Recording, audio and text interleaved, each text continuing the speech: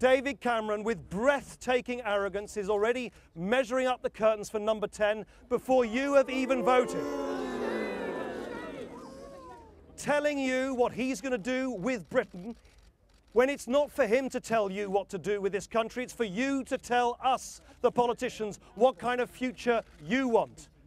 I have a simple, I have a simple message for David Cameron. In this country, you don't in- inherit power, you have to earn it. So we have a great opportunity. You have a great opportunity here in Lewisham East.